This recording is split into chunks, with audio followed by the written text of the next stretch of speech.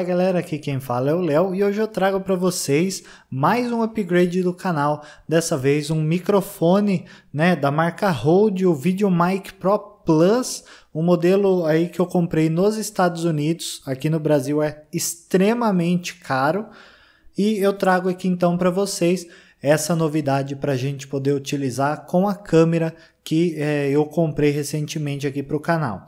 Bem, esse microfone ele é um microfone direcional, ou seja, ele vai na parte de cima, no topo da câmera, apontado diretamente para quem está falando, e por ser um microfone direcional, ele pega tudo que está aí à frente do microfone. É, uma das vantagens dele é que ele permite aí a gente aplicar filtros né, no, no som, ele consegue gravar um canal com uma redução de 10 decibéis e um canal com um ganho de 20 decibéis, então a gente consegue aí uh, ajustar esse volume de acordo com o microfone e não com né, o amplificador da câmera, que em geral acaba trazendo uma qualidade ruim de imagem, de, de som, né, e aí permite uma gravação mais profissional, ele tem aí um sistema para fazer a, a, filtragem dos ruídos de vibração da câmera, enfim, um microfone muito completo aí, como nós vamos ver agora no unboxing. Uh, esse microfone aqui, uh, ele pô, só é possível achar no Brasil no Mercado Livre, é muito difícil achar em outros lugares e ele é extremamente caro aqui no Brasil, obviamente, como a maioria das coisas. Estou abrindo aqui então a embalagem. A caixa é bem simples, né? Aqui não traz muitas informações. Na lateral a gente vê uma câmera, aqui na outra lateral a gente vê garantia. Aí tem o sistema que eu disse, a suspensão anti-vibração. Tem uma bateria de lítio, isso é uma coisa muito legal. Enfim, uh, ele tem aí uma melhora com relação ao, ao vento. E aqui na, na caixa a gente tem algumas Uh, especificações, por exemplo, um microfone shotgun para câmera, com dois estágios de filtro passa altas, 10 anos de garantia. Uh, tem uma função muito legal que é de ligar automaticamente a câmera. Para, o microfone, quando está ligado à câmera, parece besteira, mas eu vou falar para vocês. Tem aí uma alimentação ou pela bateria de lítio ou por duas pilhas né? Aí então ele é otimizado, aí tem uma proteção otimizada contra o vento, é um cabo uh, 3,5 milímetros, enfim, uh, padrão aí, mas muito legal. Aqui então nós temos o microfone numa embalagem de plástico mesmo. Deixa eu abrir aqui para a gente ver. Ele tem algumas travinhas aqui no plástico. Então, aqui está o nosso microfone Rode VideoMic Pro Plus. Aqui logo na parte superior a gente já vê a bateria de lítio. Isso é uma grande vantagem em relação ao Pro normal, né, que a gente acha aí até com certa facilidade no Brasil.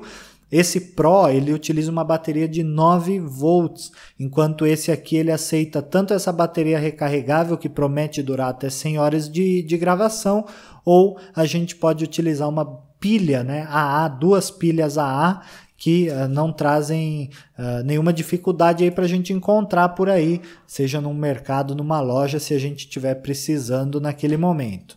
Aqui nós temos um manual. O manual tem várias línguas, pelo que eu já pude ver, é um manual bem sucinto explicando as funções básicas. Né? Não vou passar por ele agora. E vamos direto ao microfone. Uh, ele é um microfone relativamente pesado, vem escrito aqui Rode né, na parte lateral. Uh, ele é bem pesado, ele parece ser grande. Eu vi aí algumas reclamações com ele com relação à forma de, de é, ligá-lo à câmera, né? Por ele ser um pouco mais comprido para você utilizar aí não o visor de LCD, né? Aquele outro visor da câmera. Não sou expert em foto, vídeo nem nada, mas para utilizar aquele outro visor acaba atrapalhando é, então aí algumas uh, críticas que, a meu ver, né, para o meu uso, não tem aí nenhuma deficiência. Além disso, né, além do microfone, nós temos aqui alguns outros acessórios, como por exemplo o cabo P3,5 para a gente ligar na câmera, cabo normal, bem curto. A facilidade de ele vir separado é que se você quiser, você pode ligar um outro cabo né, a, a sua câmera maior, pode utilizar até ele com uma vara de microfone boom, né? Se você quiser, ele tem a rosca aqui para você acoplar em algum outro adaptador que não a câmera e o cabo para você fazer o carregamento da bateria. É um cabo micro USB do tipo 2, aquele padrão de celulares Android que a gente já via há um tempo atrás. Falar para vocês então algumas características desse microfone, por que, que eu escolhi ele. Bem, eu comprei na verdade um Rode é, VideoMic Pro aqui no Brasil pelo Mercado Livre uh, por um preço bastante alto, na, foi cerca de mil reais. E quando o microfone chegou, ele era falso. Por conta disso, né, tem muitas falsificações do microfone Rode no mercado. Eu acabei optando por comprar ele fora do Brasil, né, na, na Amazon, onde eu saberia que de fato ele na, seria original, né? E aí, pela diferença de preço, eu acabei optando pelo Pro Plus. Lá ele custou 275 dólares, visto aí com o preço do dólar saiu cerca de 1.200 reais, de 1.100 a 1.200 reais. Né, e bem próximo do que eu pagaria no modelo inferior. Aqui no Brasil, pelo que eu pude pesquisar, um microfone como esse está custando aí mais ou menos de 2.500 a 3.000 reais, pelo que eu pude apurar no Mercado Livre. Então, com certeza valeu muito a pena. É um microfone com uh, vários itens customizáveis. Você consegue customizar aí a questão do, dos filtros de 75 Hz, 150 Hz. Você consegue configurar os ganhos de áudio.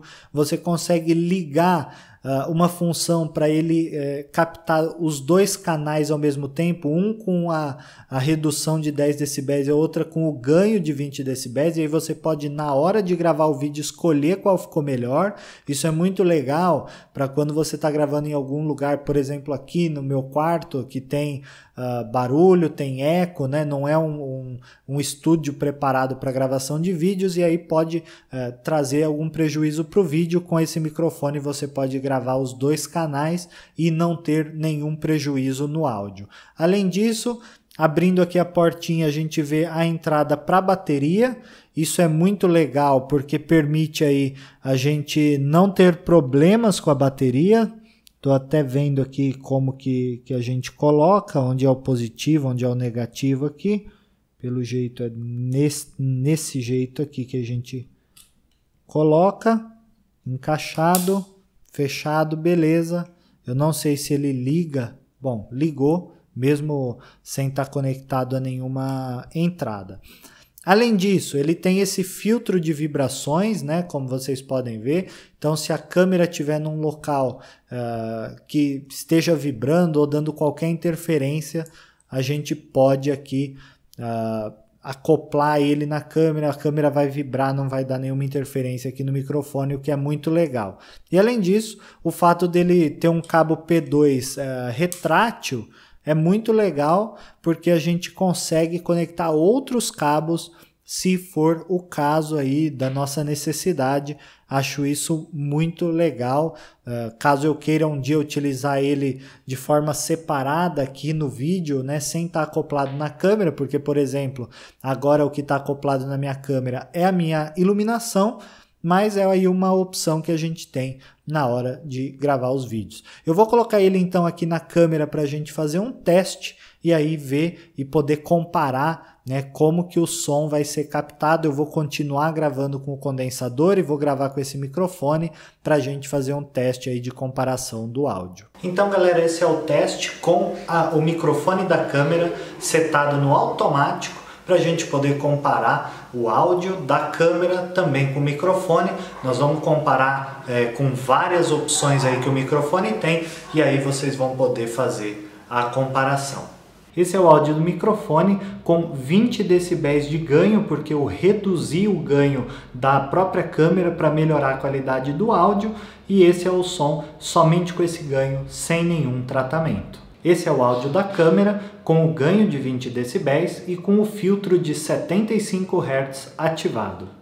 Esse é o áudio da câmera com o boost de 20 dB ativado e com o filtro de 150 Hz também ativado. Esse é o áudio do microfone com o boost de 20 dB ativado, com o filtro de 150 Hz ativado e com o ganho de agudos também ativado. Então é isso, galera. Espero que vocês tenham gostado. Se vocês gostaram, não esqueçam de deixar seu like e se inscrever no canal. Obrigado por acompanhar e a gente se vê então no próximo vídeo.